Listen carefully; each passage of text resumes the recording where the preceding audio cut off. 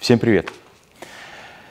Мы решили попробовать очень интересный формат, и от ваших комментариев будет зависеть, будем ли мы продолжать это или нет. Смотрите, после того, как мы сделали несколько видео о покупке машины, то есть предпокупочный осмотр, мне email завалили просто письмами о том, что я уже купил машину, сколько-то там, месяц, два, полгода отъездил, но ее снизу ни разу не видел, можем ее, пожалуйста, посмотреть? Давайте сделаем такой интересный формат. У вас уже есть машина, вы ее уже купили, но вы не знаете, что с ней происходит, и вы хотите об этом узнать. Вы приезжаете ко мне, мы, сейчас это экспериментальная версия, мы придумаем, как вы будете со мной связываться именно на эту тему, и как мы будем из всех желающих выбирать э, машину, потому что желающих будет, скорее всего, очень много. Вы приезжаете сюда, мы осматриваем машину, мы ее оцениваем. Оцениваем ее по повторяюсь, экспериментальная версия, эта серия, и мы еще додумаем этот момент, но как минимум машина будет оцениваться по состоянию кузова, это лакокрасочное покрытие, состояние э, наличия коррозии снизу, по ходовой части, по агрегатам, двигатель, коробка, наверное, по салону, и, скорее всего, будет пятый интересный пункт, это будет индивидуальность вашей машины, то есть там какие-то красивые диски, красивый салон, еще что-то.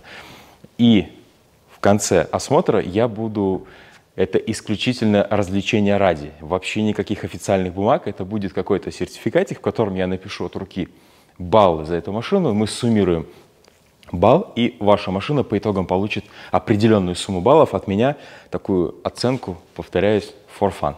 Давайте попробуем сегодня это сделать. У нас есть машина, она стоит на улице, 335 Е92, которую человек купил полгода назад, но ни разу ее не видел снизу. Ну что, машина у нас здесь. Как я уже сказал, 335 дизель, 92 кузов. На приборной панели 195 или 6 тысяч, короче, до 200. Но мы вам попозже покажем салон. По салону я думаю, что там значительно больше. Сколько, не сказать не могу, но я думаю, что больше. Давайте начнем смотреть. Как всегда, начинаем смотреть с мотора. Визуально смотрим кузов, потом машину поднимаем и смотрим снизу. Интересно, что дальний болт на крыле выглядит, что не крутился, а вот этот крутился. И вот этот крутился. Как так? Поправляли крыло чуть-чуть. Смотрите, я давно не встречал такие машины, которые после того, как двигаются или снимаются кузовные элементы, болты подкрашиваются обратно, и причем похоже даже в оригинальный цвет. Вот это прям максимально пытались спрятать, но все равно видно, что на самом деле капот снимали, ну или как минимум двигали. Здесь все выглядит более-менее.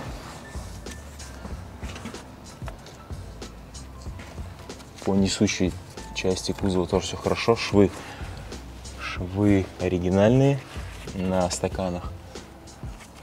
Спорка. Лонжероны посмотрим сейчас и отсюда, и сверху, и потом снизу, когда снимем защиту. Пока выглядит все хорошо. То есть это говорит, скорее всего, о том, ну это, может быть, снизу мы что-то увидим. Пока выглядит так, что просто делали или косметику, или какие-то небольшие повреждения были, там, допустим, в бампер. И выставляли зазоры, поэтому крутили эти болты. Что у нас по фарам? 310807 140907 3108 1409 ну да фары тоже похоже что оригинальные стоят ну очень очень близкая дата производства у них на корпуса заслонок я вижу. Сами тяги не на месте. Ну внешне. Что внутри в своем коллекторе я не могу сказать пока его не снимешь да Человек просто говорит, что до 2500 машина, ну, как бы не очень хорошо едет. Это могут быть как и турбина, как и вакуумное управление, так и об этом мало кто знает. Если вы удаляете заслонки в коллекторе, то до 2500 оборотов машина перестает ехать так, как она ехала с ними. Разница не колоссальная, но она чувствуется, особенно если вы хорошо знаете свою машину. Ну, вы это почувствуете. Судя по тому, что я вижу здесь, ну, во здесь, видите, пыльник отваливается. Мы тебе потом все покажем. Пыльник отваливается отбойник разбит. И почему-то мне кажется, что здесь есть подтеки масла с амортика. Незначительные, но есть. Потому что здесь вот видите, вот это все вот такое жирное, и к этому всему прилипает песок. Но это не точно. Это не точно, это все. Хотя нет, все-таки, наверное, вытекший. Потом снизу вам покажу, почему я так думаю. Сейчас посмотрим. Машина неделю назад прошла техосмотр у нас в Риге, ЦСДД. Пока все хорошо, я так просто говорю.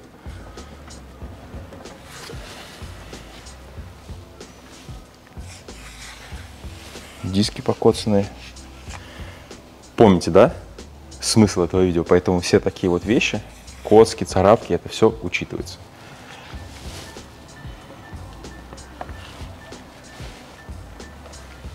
Такие вещи, как расходники, мы не будем считать. То есть, если там у человека кончаются колодки, это не значит, что мы ставим за это минус. Нет, это просто расходник, который нужно будет поменять.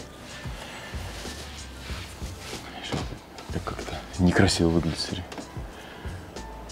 Можно туда спрятать что-нибудь. Контрабанду можно возить. Такая щель, это под фару. У них есть такой подъем, но тут, мне кажется, как-то совсем сильно. Стекла фар от песочины очень сильно. От просто пескоструй практически. Светит фары хорошо? Знаешь, куда ехать, да? Посмотри, у нас там был видос интересный по поводу фар. Давай, иди, пожалуйста, с этой стороны. Здесь такая же история.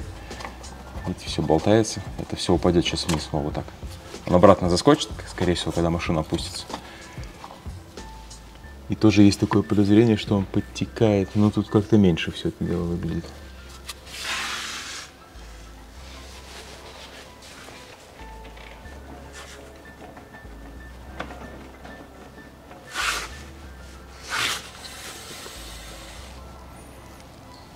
Диски Брэмбо недавно поставленные. Зато колеса Мишлин, смотри, это хорошо. Дверь крашеная, это я уже так вижу. Крыло тоже красили. Крыло крашено, дверь крашеная, сто процентов. Потом прибором померим. Крыло мы не померим, потому что на пластик. А дверь точно видно, что крашеная. Заднее крыло тоже крашеное. Это прям хорошо видно, просматриваются пылинки в краске. Завод так не красит. Обычно такие вмятины, знаете, когда двери закрывают, ремень, например, бывает как-то так у людей происходит, что ремень здесь остается. Бам! Здесь у нас, видите, на заднем левом крыле есть незначительная царапина по кузову, по крылу. Ну, как бы, ладно, это ничего страшного, тем не менее, это есть.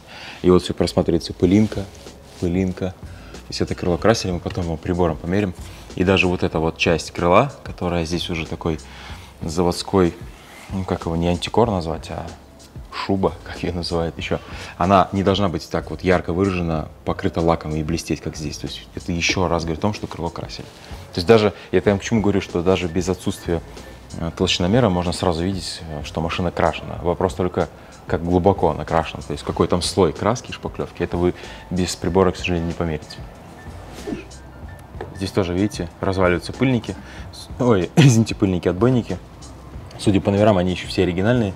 БМшные, но они уже, видите, все на цепляк. Скоро это оторвется, пыльник упадет вниз, и амортизатор начнет, на амортизатор начнет лететь грязь, и все это ускорит его, его смерть, приблизит.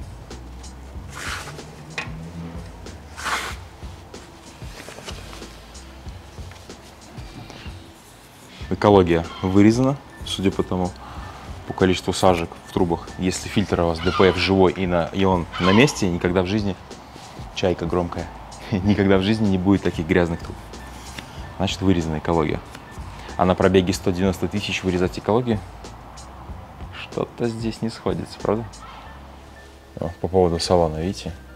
Здесь есть вмятин, ну, такое повреждение, здесь есть.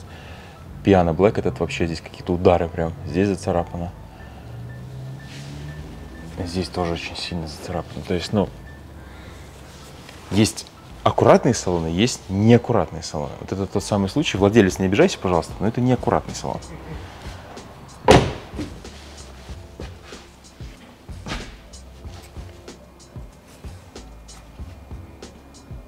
Еще даже не сняли защиту, уже вот капля масла висит. Тебе не надо масла свеженького? 35-го дизеля маслица, смотри, вот она капелька. Так, защиту пока не будем снимать, снимем чуть позже. Посмотрим пока. Посмотрим пока. Так. Здесь тоже маслица есть у нас. Сейчас смотрю на повреждение дисков, на трещины как минимум, на передние. О, кстати, кривой. Это даже видно вот так глазом. Не знаю, видите вы это на камеру или нет. Смотрите, вот здесь такой, оп, подъем. Вот он. Пошли дальше, пошли дальше, пошли дальше. Что у нас здесь? Что у нас здесь? Шланг тормозной. Целый. Эти вообще считаются вечные в 90-х кузовах. Практически. Ну, и не знаю, не помню, как все раз менял кому-то. Вот эти, да. Вот он. Кривой диск.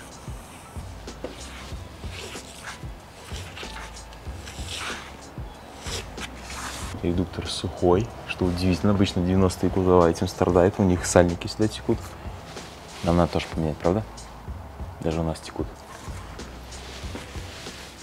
Так. Ну вот задний амортик, смотрите, такая же самая ситуация. Вот откуда здесь вот эти жирные, жирные вот эти следы, такие промасленные, видите? И вот этот весь налет. Обратите внимание, нигде на кузове нету такого песка налипшего, как есть на стойках амортика. По состоянию кузова снизу, кстати, все очень красиво. Обычно вот это место, там такая распорочка, сейчас вы увидите, она, как правило, первыми такое слабое место, где начинает э, лезть ржавчина на этом кузове, именно вот на 90 кузовах. И здесь все выглядит красиво, на самом деле, потому что... Сколько машин в Латвии, в Риге? Она не видела еще наших солей, к счастью или к сожалению. Поэтому выглядит снизу очень красиво по кузову все. В плане коррозии здесь то, что я видел. Ну, вот смотрите, здесь есть совсем чуть-чуть. Вот там. Но совсем незначительно. Машина седьмого года, да? Да, машине 13 лет. Ну, какой-то нормально. Но самое главное, что даже вот смотрите, мост, мост, он сам практически, ну, тут какие-то легкие-легкие вообще следы. Обычно латвийская машина, которая 2 или 3 года поездит по Латвии, вот здесь уже просто смотришь, плакать хочется. Вижу, крутилась недавно защитка, следы от инструмента. Совсем недавно. Признавайся, что делали. Фильтр меняли. Ну, этот, топливный. Ну, как бы он вот тут стоит. Это и снимали. А, и мыли, и там подсеки были, масло. Меня не проведешь. Че, говорит, не знает, откуда масло течет. Я и правда не видел. Я думаю, что если это с этого угла, то у 35-го дизеля там стоит труба, по-моему, даже красного цвета у них. У 70-х точно красная, здесь, по-моему, тоже красная, у 35-х. Красный рукав, который идет от байпасной заслонки уже в кулер. Больное место стоит она 300 евро, по-моему. Никто их не покупает, типа, как это за такой кусочек 300 евро? Придется потратиться, иначе она будет течь. Можно туда поставить силикон, но, к сожалению, по форме туда подобрать очень тяжело. Э, Давай снимем, посмотрим. Ох, тебе тут огород. Вот это огород, я понимаю. Она весит раза в три больше, чем должна. О, смотри. Нефть. Можно переработать и сделать из него еще что-нибудь. Ну что, наверное, кстати, ну как? Ну, да. Как я и говорил, э, течет, видите, вот с этого красного патрубка. Туда можно поставить новые кольца уплотнительные, вот в эту часть и туда. Но через время она начнет течь. А, кстати, есть еще одна проблема у этой машины. Туда, куда он одевается наверху, там заслонка байпасная стоит. То есть, ну, на корпус заслонки, да, там заслонка стоит. Так вот, со временем резинка уплотнительная, она вытирает алюминий оттуда. И там, где стоит резинка, есть выработка на самой заслонке. То есть туда можешь поставить новое кольцо, даже новый патрубок, а все потечет. Поменять и заслонку в том числе. Слушай, ну Дайфер еще поездит. Есть микротрещинки, ну, это нормально. А больших разрывов резины я не вижу. Хоть здесь повезло, да? Селимблок, я не знаю, мы, наверное, не сможем это показать. Ну, давай попробуем, но боюсь, что нет. Тут и глазом не видно, а камерой так тем более.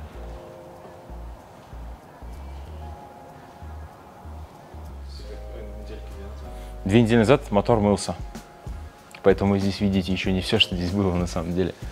Очень странно, вот тут есть след масла, вот на углу поддона прям. Но откуда ему тут взяться? Если это была трещина в поддоне, ну бы просто уже вытекло это масло оттуда. Просто не домыли чуть-чуть.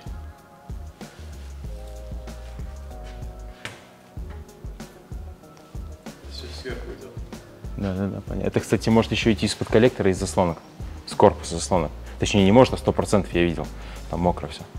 реальных цифрах этого пробега, это, я думаю, это не, не печальная история. Нет. Здесь пока что по технической части здесь ничего страшного вообще нет. Ну, как бы, ну, ну, Ну, это цепь еще не видели. да, мы не видели цепь. Мы ее, к сожалению, в этом видео не увидим, потому что ее надо разбирать и смотреть. Э, Чтобы вы понимали, в целом, для, по состоянию машины технически не так все плохо. Да, есть места, но это возраст. Мы не знаем настоящий пробег. Меня больше всего смущает почти весь покрашенный кузов. Сейчас мы опустим ее вниз и померяем краской. Вот это интересно. Но я не думаю, что будут какие-то глобальные повреждения там, что что-то там кого-то варили. Нет, я думаю, что просто косметика. 3700. 5300. По-моему, после 7000 прибор не показывает. По-моему.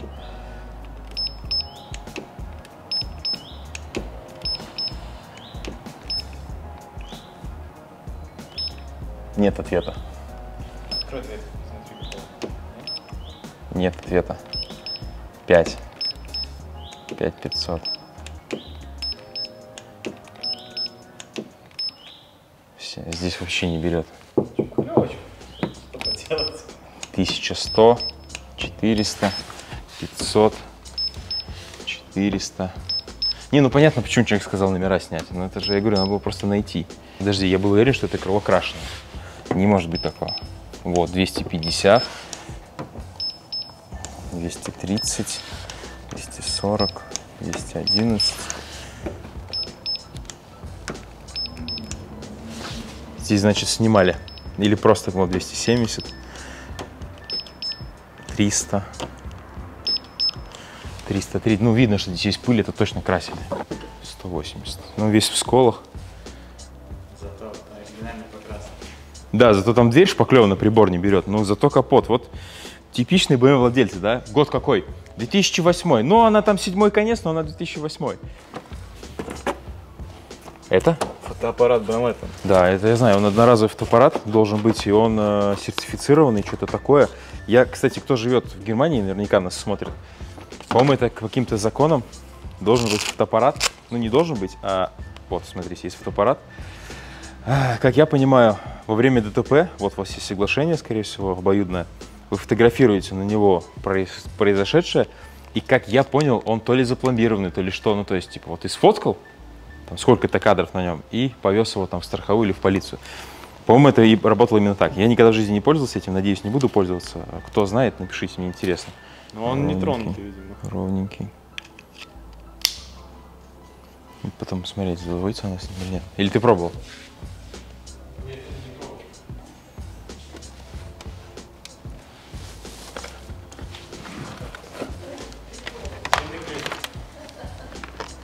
Который не заводит. Так, жена, на тебе ключ, если что, езди. Я поехал в, в этот, э, в командировку. В море. Я, я пошел в море на три месяца. На тебе ключ. Катайся, да. И ты такой, фу, тачка будет целая, стопудово. Кто-то в комментариях написал, что чтение ошибок это не совсем правильно. Я согласен, что прочитать ошибки, какие-то актуальные или старые, это одно, а сделать полную диагностику, это нужно сидеть, смотреть параметры, даже ездить на машине. Мы этого не делаем сейчас, потому что ну, это не имеет никакого значения, машина не покупается, она уже куплена. Да и просто в данном случае нет смысла на это тратить время. Поэтому сейчас мы просто вычитаем ошибки, посмотрим, что есть, удалим, посмотрим актуальные ошибки и на этом закончим компьютерную диагностику. Это такой поверхностное. Как я уже говорил, видео делается, ну, как бы, for fun. Значит, по ошибкам у нас... О, как у меня указка, смотри, прикольная. Нет связи с блоком управления телефоном, но это ты будешь сам потом разбираться.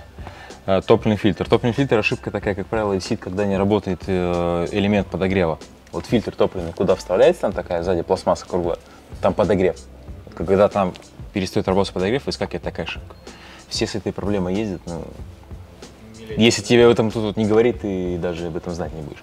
Лечится заменой этого элемента. Неисправен привод зеркала на стороне водителя. То, что ты спрашивал. Скорее всего, шина или сам моторчик. Не знаю, можно ли сделать, но, скорее всего, замена. А у нас же есть зеркала. А у тебя складные зеркала? А у него зеркала простые. У нас есть зеркала. В чем? Не знаю, подумать. Недорого. Они просто лежат у нас. Мы же роботы себе поставили. М, Не работает обогрев э, спинки сидения. Не написано какой, не знаю, надо смотреть. И в блоке света левый стоп-сигнал неисправен. Возможно, был коротыш на лампочке. И более 30 раз, по-моему, когда блок FRM славливает короткое замыкание, он э, блокирует этот канал. Ты даже можешь поставить новую лампочку, если она будет гореть, это нужно перекодить блок. В принципе, по компу не так страшно. Свечи, смотри, работают. По турбе, по надувам ошибок нет. Можно еще завести, посмотреть коррекцию форсунок. Да? Нужно. Сейчас смотрим коррекцию форсунок. На теплую машину обычно смотрится. Смотрите, на холостом очень-очень-очень-очень даже хорошо. Чтобы вы понимали, цифра должна быть максимум к нулю. То есть до минус 2, до плюс 2 это тоже считается более-менее хорошо. А тут вообще все форсунки близко к нулю. Еще один способ это поставить машину на драйв и посмотреть, как это выглядит на драйв. Видите, чуть цифры поменяли, здесь стало 0,5, здесь выровнялось в 0. Но в целом по форсункам, если мы верим этим параметрам, а они не всегда совпадают с действительностью, что форсунки на стенде могут показать, то по параметрам все очень даже хорошо. По салону. Ну, такие вот всякие грязные царапки хорошо. Кстати, вот это вот, это это локтем, да, делают? Э, замени, пожалуйста, пластик или обтяни его в кожу. Руль когда-нибудь будешь перетягивать, наверное? Или нет? Вот это можно затянуть в кожу, будет классно смотреться. Больше всего, конечно, бросается в глаза вот такие вот царапины. Вот это все, не боюсь, что это ты не отполируешь, вот эти глубокие, но большая часть уйдет. Обратите внимание, сколько здесь много-много царапин. Это повлияет на мою оценку по салону машины. По сидению, ну тут понятно, так как Рикара, Рикара сиденье, это боковинка всегда будет более уставшая, чем все сиденье, но в целом как бы с, состояние тех же сидений, оно неплохое. Но вот такие вот царапины, мелочи всякие, они немножко портят общую картину. Я на данный момент, как я уже говорил, я повторюсь еще раз, мы пока экспериментируем. Я считаю, что должно быть 5 критериев, по которым я буду судить машину. За каждый критерий я могу дать 10 баллов. То есть максимальное количество пунктов 50. Этой машине, я сейчас подсмотрю, за кузов, э, у нее есть огрехи по покраске, у нее там есть сколы и так далее, но она очень хорошо выглядит снизу. Поэтому я ставлю средний балл по кузову 6. За мотор коробку мы на ней не ездили, но то, что показывает диагностика, то, что мы видим потек масла, шестерочку. Салон. Я больше 5 баллов за салон поставить не могу. Но он неплохой, но его нужно доработать. Значит, салон 5. Ходовая. Эта машина сейчас, вот прямо сейчас, если не считать потек масла, по рычагам, по всем там, там есть, помнишь, да, салимблоки, их нужно поменять. Так, в принципе, по шлангам тормозным, по всем-всем элементам, которые смотрят у нас в тест техосмотре, можно поставить смело 7 баллов. И Пятый пункт, это будет очень интересный пункт, он будет абсолютно субъективно оцениваться, это индивидуальность вашей машины. Что такое индивидуальность? Какой-нибудь красивый цвет, хорошие диски, индивидуальный салон, какое-нибудь что-то интересное пошитое в вашей машине, там музыка, это не важно. В этой машине этот, этот пункт мало кто будет хорошо зарабатывать, потому что в основном у нас стандартные машины в Риге, но тем не менее, ну, этой машине я, здесь какой-то такой интересный салон с тряпкой по центру, ну, 3 балла. Итого, средняя моя оценка на этой машине 27 баллов из 50. Но, повторюсь, машина неплохая. Но вот именно так я ее оцениваю, потому что, чтобы я поставил большую оценку, удивите меня и привезите мне сюда прям машину, которую я посмотрю и скажу, вау, да это прям новая тачка. Все, мы думаем, как мы будем с вами связываться, как мы будем приглашать вас на осмотр этих машин. А пока спасибо, что смотрели это видео. Надеюсь, вам понравилось. Жду вас в комментариях. Обязательно напишите, имеет ли место быть такой формат. До скорых встреч. Всем пока.